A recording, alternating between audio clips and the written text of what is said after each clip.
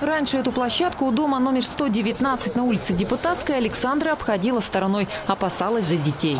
Недавно здесь все было а, полностью завалено, было, были большие деревья, первые этажи домов было просто не видно, и было очень много подземных гаражей, которые были небезопасны, потому что они никак не закрывались. Детской площадки не было вообще. С просьбой помочь благоустроить территорию жители обратились к депутату Тюменской городской думы Дмитрию Антипову. Теперь здесь не только детская площадка и зона отдыха для пенсионеров, но и первая в Калининском округе дворовая велобеговая дорожка. Самое главное, что э, отношение жителей особое э, было, потому что здесь на дворовой территории было где-то, не где-то, а 38 погребов.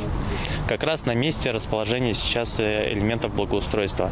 И жители, проявив сознательность, с, наверное, с прошлого года начали самостоятельно их выкапывать. А сейчас очень красивый облагороженный двор. Городской депутат Дмитрий Антипов исполнил наказы избирателей и по другому адресу. Теперь у жителей дома номер 29 на улице Самарцева есть площадки для досуга всей семьи, современные парковые качели, а главное – сухой двор. Одна из основных проблем данной территории это была подтопляемость, все, что связано с э, талыми и дождевыми водами. Э, вопрос технически реализован за счет э, контуруклонов и за счет устройства дренажных колодцев. Комплексный подход применили и при благоустройстве дворовой территории дома номер 26 на улице Восстания. Здесь наказы избирателей исполнила депутат Тюменской городской думы Екатерина Бешкурцева.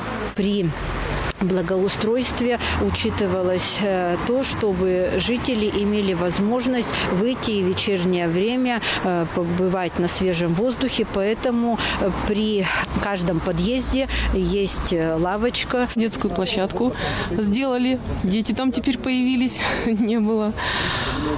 Тренажерную вот площадку сделали. Мы, конечно, очень довольны. Нам вообще все нравится. И, и ход работы нравится, и как быстро сделали, нам все нравится. А еще, чтобы жителям было удобно, у дома с 30-летней историей обновили входные группы и сделали пандусы. Наталья Жукова, Алексей Безделов, Тюменская служба новостей.